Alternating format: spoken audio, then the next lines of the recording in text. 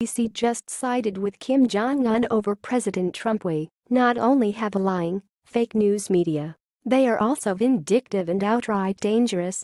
President Trump stood up for the American people by telling the chubby North Korean dictator that if he threatens America, he will deal with fire and fury, the likes of which the world has never seen. As many predicted, the lunatic dictator fired back at President Trump, upping the ante by claiming he'd attack Guam. The man is crazy and unstable, does this come as a shock to anyone?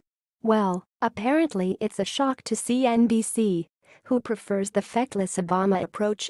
So much so, they slammed President Trump, and in doing so, took the side of North Korea's cruel and evil dictator.